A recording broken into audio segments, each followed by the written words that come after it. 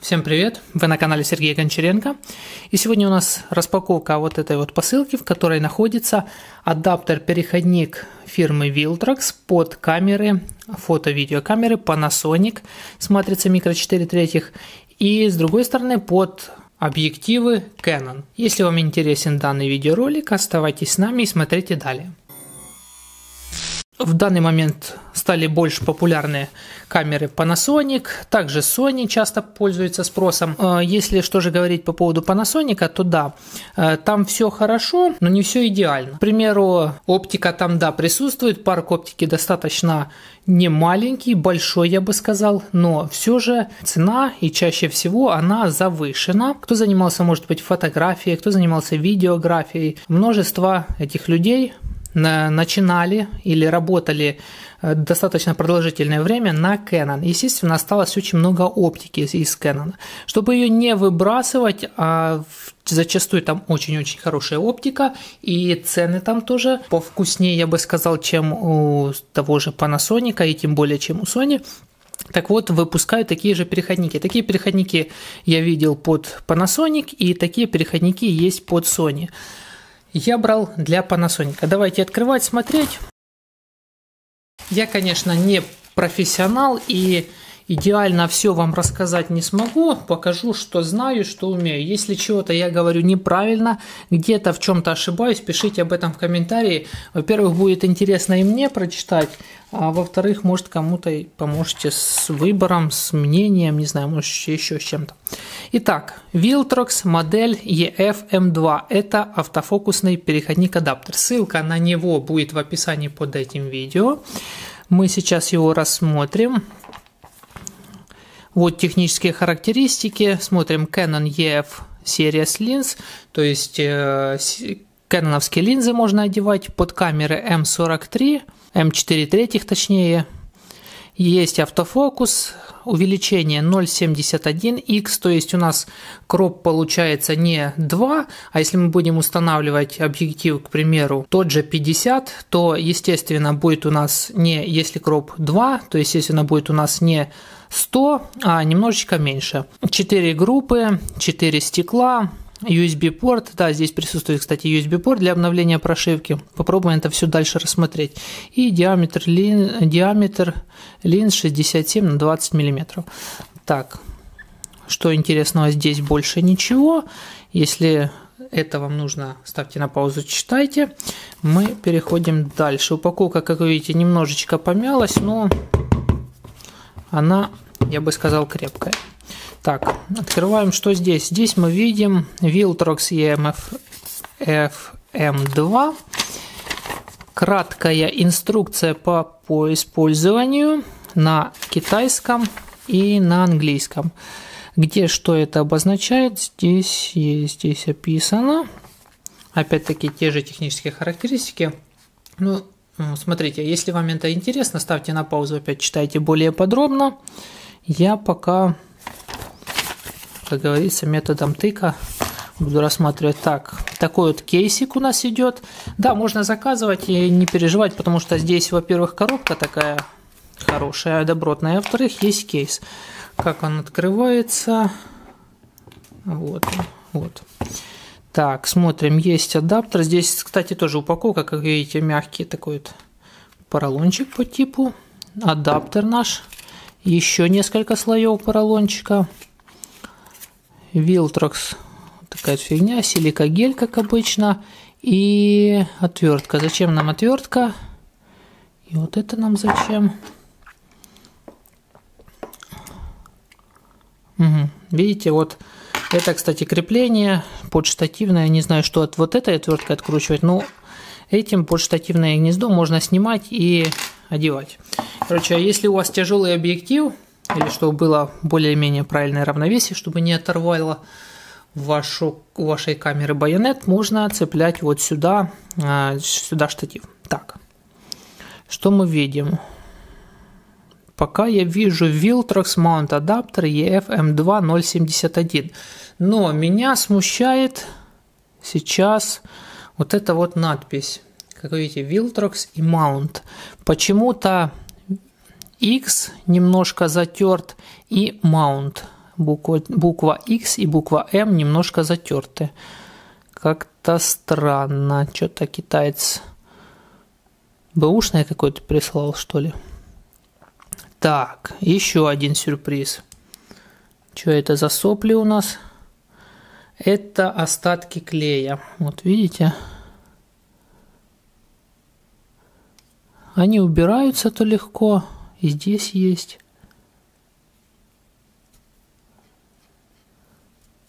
Так, ладно, это-то убирается. Ну, что-то мне с буквами не нравится. Давайте дальше внешне посмотрим. На одной стороне у нас есть USB-порт. Порт у нас micro-USB для обновления прошивок. Ну и все. Давайте посмотрим, что у нас здесь. Так, здесь у нас группа контактов. Байонет вот это вот металл. А, таки вот это вот металл получается. И это. А, и это. А ну. Что-то похоже на металл, да. Так, опять-таки меня сейчас смущает, знаете что? А видите, вот черные полоски, оставленные на данном адаптере.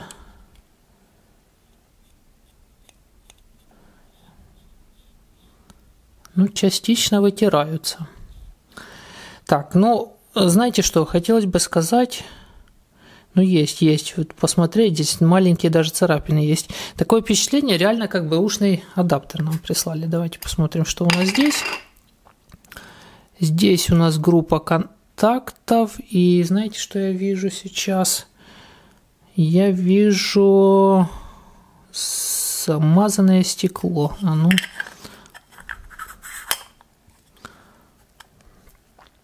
Ну, смотрите, будет вам видно. Вот здесь, вот в этой части есть отпечаток пальца. Да, вот видите, да? Вот это вот. Китаец, честно говоря, у меня больше слов нет, кроме как просто охренел. Отправил мне бэушный адаптер. Э, да. А стоит он не 10, не 20, не 30, не 50 баксов. Да, не супер космических денег, но и того это немножко больше 200. Историю покупки, конечно, а, я покупал, собирался вообще покупать. А, ну, там цена была 220 баксов. Потом я как-то поставил его себе в список желаний, периодически поглядывал. И здесь, хоп, и подвернулась скидка. Ну и теперь я сомневаюсь, скидка это была не на бэушный адаптер случайно, там не космическая скидка, там и каких-то 20 или 25 баксов в целом получилось. Ну, вот такая вот ситуация. С соплями на объективе, с э, байонетом, на котором видно реально следы использования, и с отпечатком на отпечатком пальца на стекле. Так, давайте сейчас будем подключать объектив. Что вообще из объективов преимущественно хотелось бы мне использовать? Что у меня? У меня есть сейчас 24-105L Canon, 85 1.2L Canon. Но это тяжелые объективы, просто интересно было бы посмотреть, как на них картинка будет работать, как будет вообще работать. И преимущественно на тех, которых бы я работал, это вот такой вот полтинничек Самый дешевый, самый простой Canon 51.8, вторая версия. И, возможно, вот такой 24, 28 105 USM, тоже от Canon, но он уже тоже такой потяжелее. Эльки те большие не хотелось использовать из-за того, что они, во-первых, большие, а во-вторых, они тяжелые. Максимум, что вот эти вот. Ну, посмотрим, как и вообще будет картинка в целом. Так, давайте переключаться на планы с этих объективов, смотреть. Так, вы сейчас, наверное, видите вот эту вот картину. Это включен автофокус. И смотрите, я не шевелюсь. И это объектив, кстати, Canon 50 второй версии 1.8. Да, это тот пластиковый, самый дешевый, но а, вполне неплохой, который дает неплохую картинку. И как видя автофокус, я, честно говоря, пока охренел. Просто. А, плюс, конечно, большой а, то, что здесь электронный, электронным способом, ну, естественно, с фотоаппарата меняется диафрагма. На самом адаптере точно так же есть рычажок изменения диафрагмы, и на самом фотоаппарате эти настройки выставляются, ну, отлично. Но, как видите, автофокус здесь вообще не рабочий. Если судить то, что я сейчас сижу неподвижно, а фокус у меня по лицу, по глазу, сейчас вот смотрю в экранчик, именно на глаз, реально на глаз фокусируется, но он ну, практически не фокусируется. Но вот если сейчас обездвижится, ну, все равно это... И учитывая то, что сейчас сзади фон ну, вообще одинаковый, я бы так сказал, то ну просто, просто ужас, ужас с автофокусом что-то нужно делать. А учитывая то, что этот объектив шумный, то, блин, это становится невозможным снимать с автофокусом. Мы сейчас еще попробуем на вот этом вот объективе 28 105, а, да, 28 105 ультрасоники от Canon. Посмотрим, что на нем еще получится. Но хочу сказать, что диафрагма, если здесь 1.8 в этом объективе, то через переходник у нас получается диафрагма f1.3. Это тоже хорошо, но намного светлее становится картинка. А, но, как вы видите, автофокус не автофокус, вот так вот. Попробовал я в режиме фото, но автофокус ну, тупо даже для фото не годится. Но я не знаю, как вот люди используют. Я читал отзывы, что и для использовать для фото его, но для фото использовать реально ну, негодно. Если я что-то не так делал, а, может быть в чем-то я не прав, напишите, пожалуйста, в комментарии, потому что хотелось бы из этого адаптера выжать хоть что-нибудь, чтобы получить хоть какую-нибудь годную картинку а, ну, с автофокусом, конечно. Без автофокуса я понимаю, что можно сделать все достаточно неплохо. Ну вот, если в режиме видео, э, то есть в режиме мануального фокуса мне сейчас тяжело просто настроить достаточно э, далеко рукой не достаю и подстроить сейчас фокус тяжело. Вот сейчас пока вроде бы как настроено. Да, так вроде бы картинка все неплохо, но покупался то автофокусный переходник и у продавца в заявленных есть поддержка 51,8. Вот, обращу внимание, что это EFM2 автофокусный. Так, так, давайте подключать второй объектив. И да, хотел бы я сказать, что обновление прошивки абсолютно ничего не меняет. Абсолютно ничего не меняет. Сейчас на данный момент я смотрел прошивка 2.3 или 3.0 даже, я не помню, ну самую последнюю ставил, там 3 или 4 версии прошивки только что я перепробовал. На вот этот объектив вообще никак э, не влияет.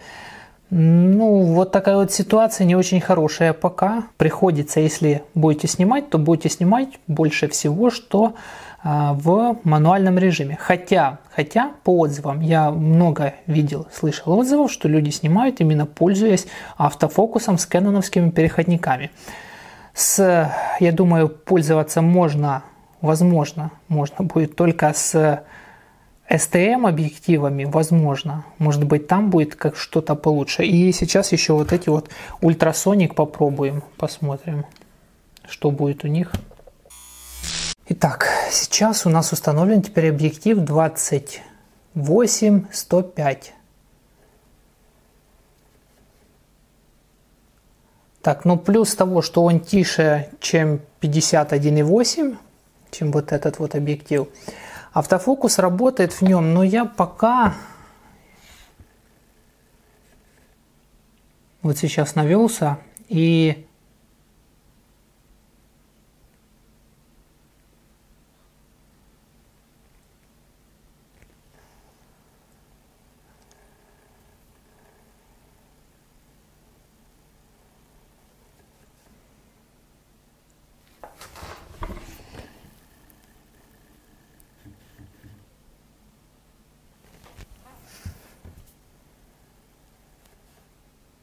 Ну, во всяком случае, лучше, чем с 51,8, э, но фокус ну, почти не рабочий, тот же. Тот же. То есть в чем суть получается? Если вы снимаете статические сцены, ну, например, такие, как вот сейчас, это говорящая голова, да, ну и то фокус, как вы видите, немножечко прыгает. По звуку. Лучше уже, конечно, что по звуку его не слышно. Нет, его слышно. Его слышно. Я не знаю, будете вы слышать или нет. У меня сейчас петличка вот здесь висит. Я на расстоянии, ну, почти вытянутой руки. Это где-то метр, чуть больше, может быть, метра. Немножко больше, чем вытянутая рука. Так вот, э, его, ну, слышно, слышно, действительно слышно. Вот этот вот вообще, конечно, полный ужас. Это, я не знаю, здесь и петличка, наверное, не спасет. А как будет с этим? Слышно, да?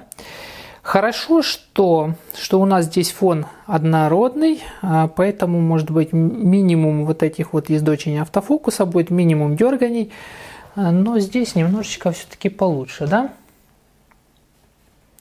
Получше. В принципе, я смотрю тут только на сам э, экранчик э, с фотоаппарата. Я не вижу, насколько видео оно будет резкое, тем более оно находится у меня не так уж и близко, не совсем передо мной. Но пока я не сильно, конечно, этим доволен. Давайте еще посмотрим скорость автофокуса.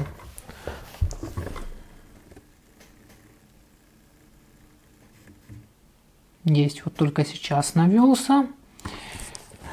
А так...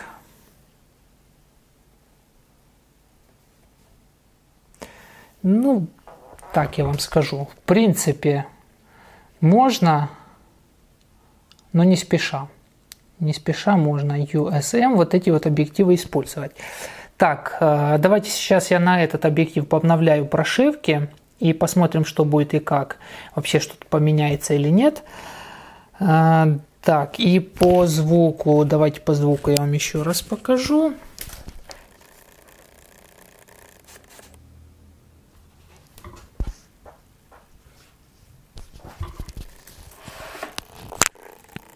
Так, я объектив, точнее микрофон положил там. Давайте посмотрите, как будет по звуку сейчас слышно его.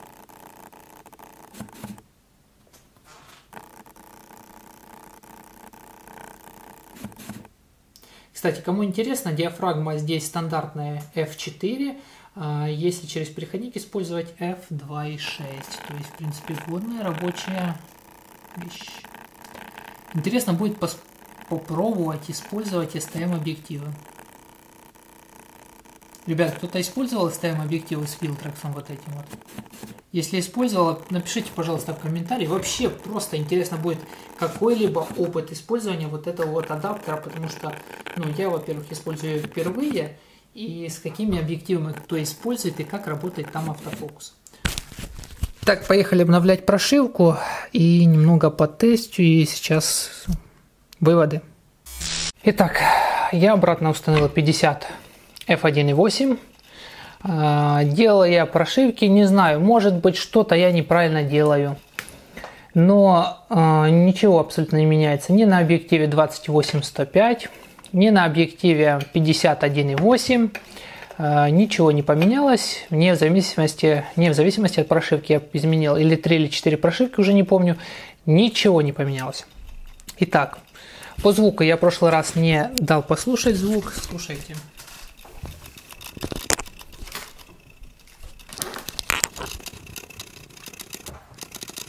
Микрофон сейчас находится на объективе э, вот там 51,8. Слушайте.